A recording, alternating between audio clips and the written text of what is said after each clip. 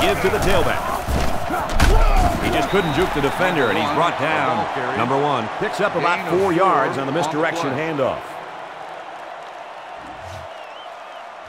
They line up at the 46. Second down. Number one, alone in the backfield.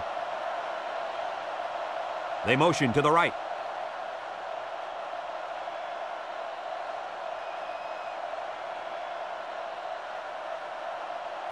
Looking to pass.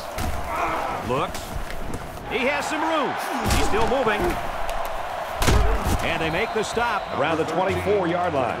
Boy, does this kid have an arm or what?